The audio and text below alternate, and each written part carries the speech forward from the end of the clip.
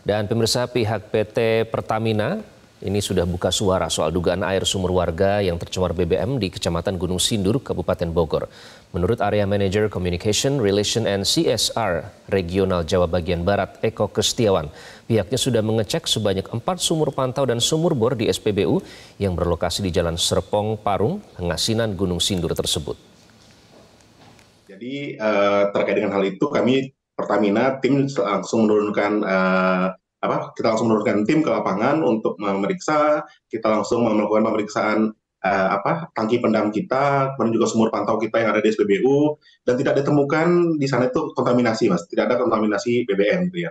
Kita juga melakukan pertemuan dengan warga tersebut ya dengan satu keluarga tersebut dan juga ada uh, para setempat. Jadi saat itu juga sudah diberikan penjelasan dan juga saat itu uh, apa uh, semua pihak dapat menerima penjelasan yang diserahkan gitu yang diberikan gitu, yang diberikan pada saat itu penjelasannya. Kemudian juga untuk SPBU sendiri saat ini kita berhenti sementara beroperasi, artinya kita ingin memastikan juga dan juga selanjutnya akan dilakukan juga tank cleaning ya, tank cleaning dan juga uh, pneumatic uh, test namanya. Nanti kita untuk memastikan lagi uh, apakah uh, ada hal-hal yang perlu kita follow up dari uh, SPBU itu sendiri gitu loh. Tapi yang jelas itu tadi yang yang uh, terkontaminasi yang diduga terkontaminasi itu ada satu rumah yang berjarak 100 sampai 150 meter dari SPBU gitu. Sementara sumur pantau kita yang ada di SPBU tidak terkontaminasi. Jelajahi cara baru mendapatkan informasi. Download Metro TV Extend sekarang.